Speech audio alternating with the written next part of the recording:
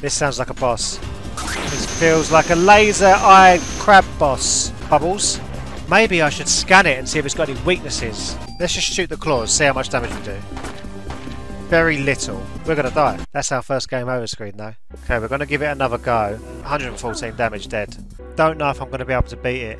Died again. Fucking, this is impossible. It's impossible. We can do this tactically. Done one of the arms. We've done one of the arms. This is gonna be a grind, and I'm gonna do it. No, no, no, no, no, no more lasers. 500 damage. Must have done to the middle part. Must have. We don't give up.